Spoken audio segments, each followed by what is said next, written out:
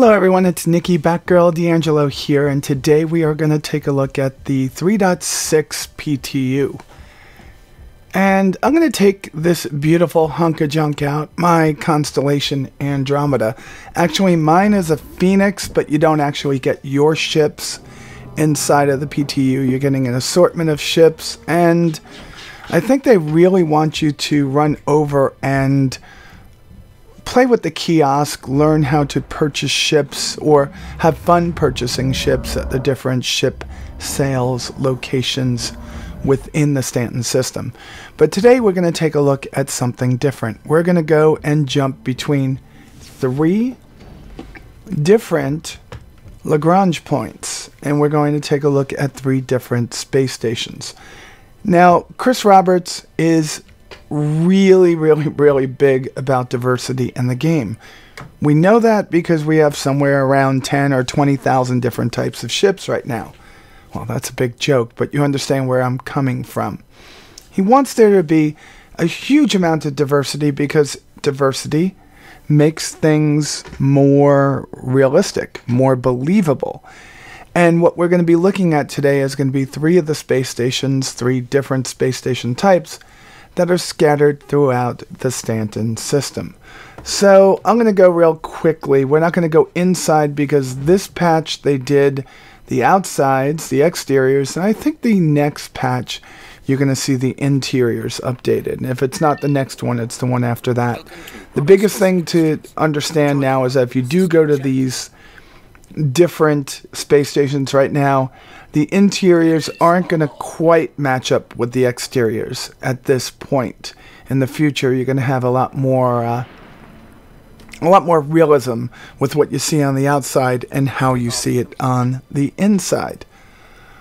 All right, so let's take you to the first of these space stations. Now, in retrospect, I should have taken a 600, a 300i, or something with a much better canopy. Maybe even the Andromeda being replaced by the Aquila? Well, I don't know. But space is a very bright place. We know this because look at the sun, which evidently is the same size no matter which one of these different space stations you go to. Um, something that I hope that they do fix for better realism in the future. If you go to something like all the way out Microtech, the sun should be a different size than it is when you're over near Crusader, or Hurston, which is the closest of the planets in the Stanton system.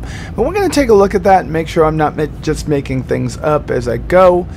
So this one is in CRU L1. So this is the Lagrange 1 point. And what we get is a very, very, very, very big space station at this point with all different levels. And I can imagine them being a commerce level, a living level, a manufacturing or engineering level, and then power, right? These are all the things that have to be here. And I could only imagine that they do have these things all mapped out. This space station is tremendous, and it gives me hope to see what's going to happen to something like Port Olisar in the future. Now, because the space stations have grown, because where you park your ship could be anywhere, anywhere at all on this space station that has these different landing pads. You could see three right there around the ring. And then as you get closer over here to this arm, there's actually some landing pads out here too. So the elevators have become transporters, kind of like what's on the Starship Enterprise. So Yes, they could go vertically, but they could also go horizontally, getting you from point A to point B with little problem. They've also updated this over in the landing areas. I was only have experience using the one in ArcCorp Area 18, but it did the same thing. It allows me to go from my hangar to any other hangar or landing pad that's over at the Hurston area, oh sorry, the ArcCorp Area 18 landing. Here, if you land, you'll be able to go to any of the docking bays or landing pads. I think that's pretty cool. The attention to detail in these is pretty vast. I'm very much liking this. And this is something that you've seen in something like Elite Dangerous with all the different types of space stations that they have at this point. In the beginning, it was just a spinning cube, but now they have a bunch more there. So I'm very happy about this. So let's go over to the HURL1, Hurston L1 point, and take a look at the one that we will find over there. Now, I have a second thought on that one. I, I do want to spend a little bit of time talking about some of the other things that are definitely coming to 3.6, and one of those being the addition of the ability to rent ships, and I think that's going to actually build a lot more love from people that haven't played the game in a while because it'll give people an opportunity to try to reach out and complete some missions, go out, do some cargo runs, maybe go out and do some mining and make a bunch of UEC and then come back into the game and, well, come back into port and use that money to purchase ships. Now, I'm not sure what the payouts are going to be in this version of the game. Hopefully, they are large enough, more than ample enough to garner in a whole bunch of cash so you could try out each and every one of the ships over time. Yeah, I know. You're laughing. I'm laughing too. That's probably not what they're going to do. But being that it is an alpha, I believe that is what they should do. You should try to garner a little bit more um, excitement around the spacecraft that you have in the game by offering that up.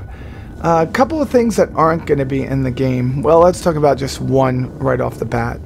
We know that the couple of ships have been moved, specifically, I think it was the Banu Defender. But I was really looking forward to, and can actually wait for it, but I was looking forward to the enhanced character um, creation system. I, I currently am very I'm, I'm going to say this. I am not a fan of the character creator at this point. I don't like having to choose bits and pieces from other faces, put three in a row. It just doesn't make sense to me.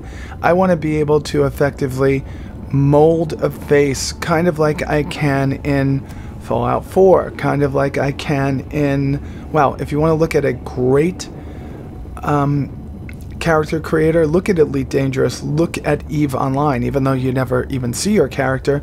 Those both have pretty decent character creation engines. And I wish we had something more akin to that because it's very difficult for me to actually get the look I want. And yes, wait until they have more heads, wait until they have more this, and then it's just going to be spending too much time going through too many different combinations of faces or heads and trying to come up with what I want when I could have just sculpted it right there if they had a system more like the one in Fallout 4. I don't know. If you like it and you think I'm wrong, please comment below and tell me what you think would be a great character generator for this game. Alright, let's get over to our wonderful space station that is in HUR L1. This time I'm going to let you see one of the deficiencies that I find in the game, and that's here we are dropping out of our quantum leap, or quantum jump, or quantum space. And we're about ready to start searching for that space station. And they still don't have any way to lock a target unless you go into the B all right, B, which would be the quantum jump, uh, I guess it's the quantum jump system, to be able to find that object that you're looking for if it's a space station, rest stop, whatever it is. That's something I thought that they should have. In fact, there's two things that they should have in this game already. They should have figured it out already, and that's going to be the coordinate system. And I, I have no idea why that's still not in the game. It doesn't seem hard to just copy something that like NASA already uses. Coordinates in space, coordinates on planets. You know, they just change from A to B. I must not be very familiar with programming because I think it should be a lot easier than it is. Anyway, we're going to point ourselves towards the rocks ahead and hopefully find what we're looking for. And I'm going to I'm going to put the pedal to the metal and try to get there as quickly as possible on this one. I just want you to see what the journey is like when you're looking for these things. Obviously, when the game is live, we're going to probably have a completely different multifunction display, display in front of us because I know that they are currently working on improving the way that the MFDs work in the game well, it might be a little bit different. I won't say completely different. But I'm really interested to see how this develops into something that's more like what you would use today. I also hate the fact that the text on the upper left hand side is very intrusive where they put it. It just seems to always be overlaying on one of my MFDs, and I feel like it, it should be more intuitive, more more there should be more AI built into that. So it knows where the MFDs are on the screen and it moves itself into a different direction. I'm also very much not a fan of the current version of the Moby mobiGlas. It's not that I don't like it, it's that I just think it should be something a little bit different. And I'll work on explaining that to you as time goes on. I, I do have ideas.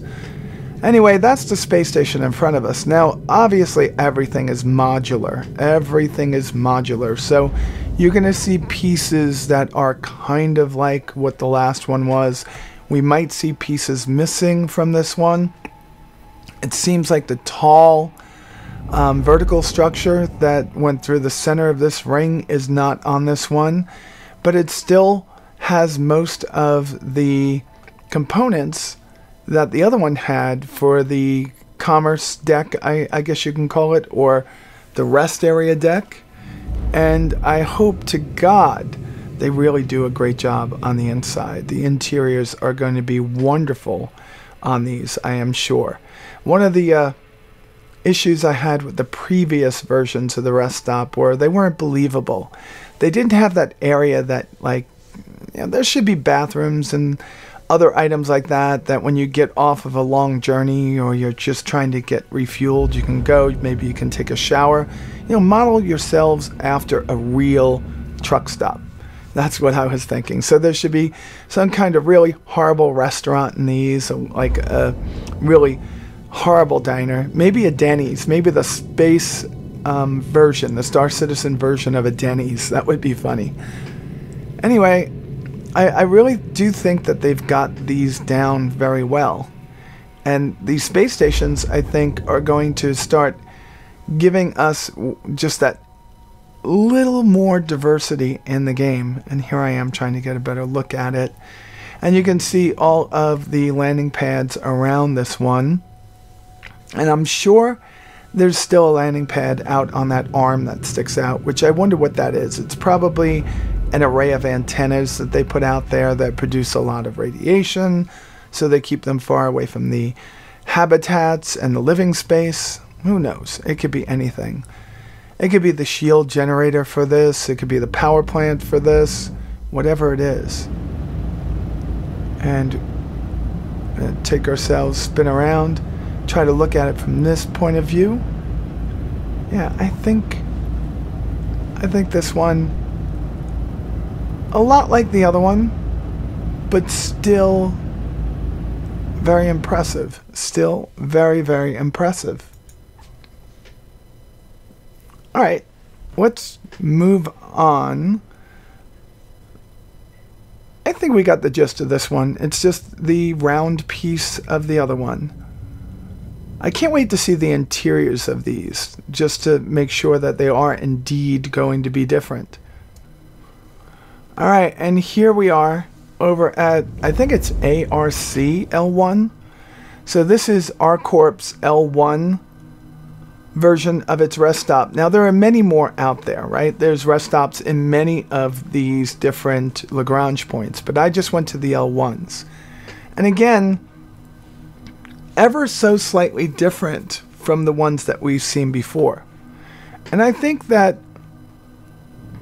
I think that these are definitely going to add what I said, that diversity, but it gives me hope that the bigger space stations, the ones where we live at, the ones where we have our ships at, are going to offer us some pretty amazing visuals when they finally come into the game.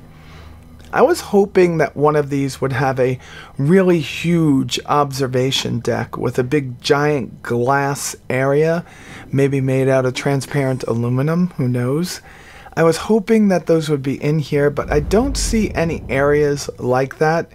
But the biggest problem with this right now is that you're just not seeing the true size of how big these things are this is one of the reasons why I can't I can't wait for VR. I've been playing with my Oculus Rift S for about a month, maybe a little bit more right now, and I'm just absolutely loving it, especially flying X-plane. In X-plane, you really do get that depth perception and you get an idea of how big everything around you is. And I think that's important in a video game, and I'm wondering how how important VR is going to be to games like this in the future, just to be able to get that perspective. Even if just to play it sometimes to understand the true size of your ship, the true size of the space stations and the landing pads that you're putting these things on. Right now, they're just objects that look you could like you could reach out and hold them. But these things are actually tremendous. In fact, I can't wait for Squadron 42 to go to beta so we could just see that kilometers long, kilometers, plural, long Shubin mining facility. That's going to be pretty awesome. So I'm going to just put it over here underneath the space station and try to just use my new understanding of the flight model to try to get around this and take a look at certain elements of it like the double ring system. That's pretty awesome. I'm, you know, when I was doing this, I was just imagining what possibly could be in each of these areas. And are they going to go out of their way to actually build out the interiors of this so we can go into all different spaces? Or are they going to just make it like all right, here's a whole bunch of rooms you can't go into, but here's the ones that you can go into, which is just going to frustrate me because I really want to do some exploration inside of this to see how does it tick, how does it work, what things did they build into it. Ah, that's just so awesome. Before I close out, I just want to talk a little bit about hover mode. It's something I really have to learn how to how to manipulate. I think my biggest problem here is I removed I, I removed my toggle to put it into decoupled mode. And I think when you get into hover mode, it should automatically put you into decoupled mode. And I found it just a little bit weird to use this mode and anything any kind of flight model that requires me to look at the outside of my vehicle is one that I'm really not going to enjoy playing. So I'm hoping that this was just all me and not the game itself. But I didn't have a problem with my previous play when I was flying around in my 300i with hover mode landing on one of the space stations and going to check out the interior and that's when I figured out that the interiors weren't done yet because I don't read the the roadmap deep enough sometimes. But I, I didn't have a big issue with it there because I was able to get right over the pad and land. But in this situation, perspective is a little bit off, and you don't really get that. So, so what I'm missing is if you remember anything about the original landing mode, you had to line up dots and red lights and green lights and you'd get this little icon of your ship that was just above the landing pad so you knew when you needed to land. Something like that needs to come back, especially for ships of this size. I should never have to look at the exterior of my ship to land. So I'm hoping that's something that will be coming with the redesigned user interface, redesigned MFD, whatever you want to call it. And you know, this is pretty much it for my first video of 3.6. I'm going to go jump in, play a little bit more, have some fun looking at the uh, rent ship rentals and the ship purchasing kiosks and you know talk a little bit about it. I'm just going to hold off on a state of the game until this version is actually out. Just something to be aware of. There are some bugs. There is a lot of lag at times and there are many crashes that are all getting fixed over time. So wow, look at this smooth, really nice landing. I'm pretty happy with the way it lands. And you know the drill at this point. If you like this episode, please click the thumbs up button. If you do subscribe, be sure to click on the notification icon. Click on the notification icon as it will keep you up to date on all my future video releases. And with that said, folks, you all be safe out there, and I'll talk to you soon. Oh, and be sure to go out to patreon.com, P-A-T-R-E-O-N.com forward slash Batgirl. If you want to help support the channel, as little as a dollar a month helps me keep going with this. And I really do appreciate all my patrons that are out there. And as we get back into these videos, I will be thanking each and every one of you on all of my episodes. Thank you very much. And as I said before, I'll talk to you soon.